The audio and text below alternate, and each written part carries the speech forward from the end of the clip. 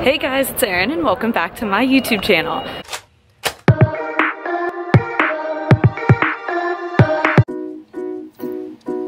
What do Nutella, Oreo cookies, and chapstick have in common? Palm oil. Palm oil is the most widely consumed vegetable oil on the planet.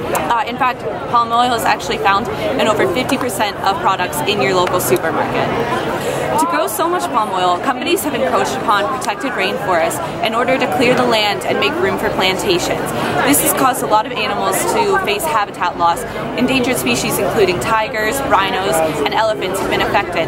But even worse is a lot of times these companies, to clear the rainforest, will use burning methods, and it ends up burning animals alive. So there have been a lot of cases where orangutans have been completely burned alive, and it's absolutely horrendous. This issue is known as the palm oil crisis. So what are some things you guys can do to help?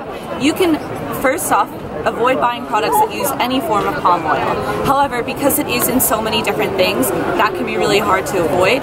So what the World Wildlife Fund has actually done was help create an organization known as the RSPO, or the Roundtable on Sustainable Palm Oil, and they are a company that goes through and basically certifies other companies if they use sustainable palm oil. Sustainable palm oil is palm oil that's been harvested from land that was not ever protected rainforest. So if you ever see the little label on your food products, you'll know that things are orangutan friendly.